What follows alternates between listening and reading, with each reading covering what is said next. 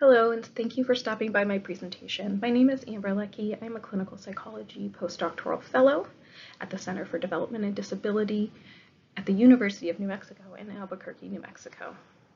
I am a 35-year-old Caucasian, female identified, female presenting individual. I have blue eyes and very uh, light colored hair, which has a pink tint to it. It is curled I'm wearing a gray blazer and you can see my Karma Circle necklace as well. Um, I will be presenting today on a scoping review of the cross-cultural use of autism screening measures.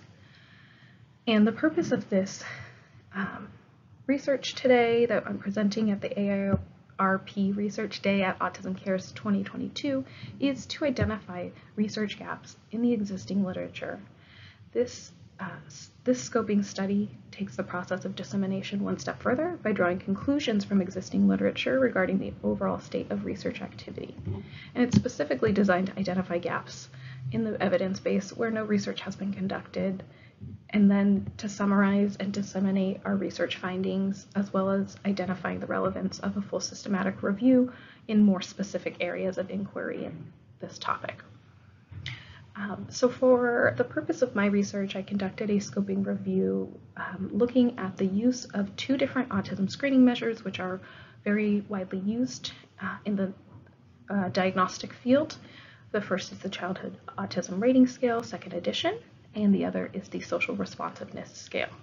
The CDD actually recommends the use of the Childhood Autism Rating Scale as one of the most reliable diagnostic tools for, for autism.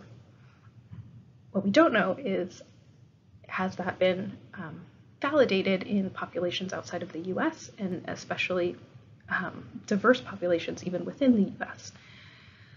I'm going to move on to um, figure one, which is the process of a scoping review for those who aren't familiar. There are five boxes total, three up top and two below, and they have arrows in between them um, telling you which direction to read them in. I'll read them out loud now in that order. The first step is identifying a research question. And for a scoping review, that can be a broad question. Um, then you identify the relevant studies. Then you select your studies in the third box through the use of inclusionary and exclusionary criteria. Fourth step and fourth box is charting the data. And fifth is collecting, summarizing, and disseminating the research. And so what I found in my research is that when I look across many da databases, uh, using terms such as childhood autism rating scale and cultural validity, or social responsiveness scale and cross-cultural use, is that we find very little has been written. Um, you know, out of 23 hits, there were seven uh, articles that were usable. Out of 26 hits in a different search, only three were usable. A total of 11 peer-reviewed articles were what I was able to find on the use of um, autism rating uh, scales in other populations and other backgrounds. And so um, there's not a lot going on here in the US. What I found is that there are many countries who have translated the CARS 2 and the SRS and have found that these measures over or underestimate um, the number of children that meet criteria for autism. So there is a table underneath my results section, table one, in which it identifies some of the different countries' cutoff scores for both the CARS or the SRS based on the literature that I researched.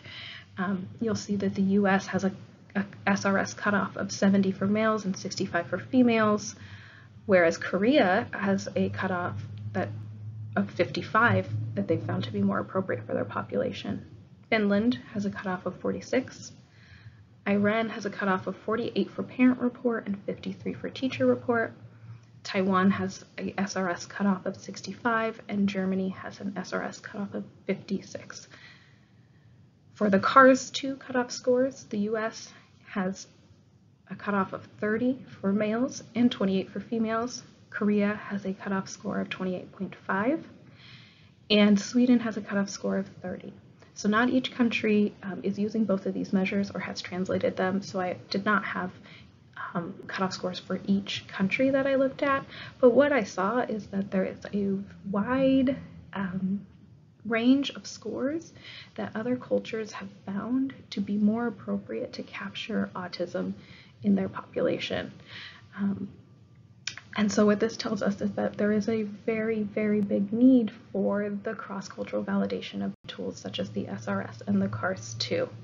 So our next step is is doing that um, research and taking in cultural considerations um, when using a US-based measure in diverse backgrounds. Thank you.